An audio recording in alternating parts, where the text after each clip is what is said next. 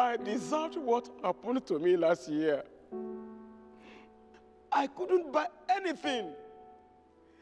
I missed out on Yakata, Konga's biggest shopping event of the year, because I didn't have any space to keep anything I would buy. But this year, this year, all those TVs, the generators, all those discounted prices on household items that you won't believe. This year, Konga is bringing the biggest sale event of the year back. And I full grand Yakata.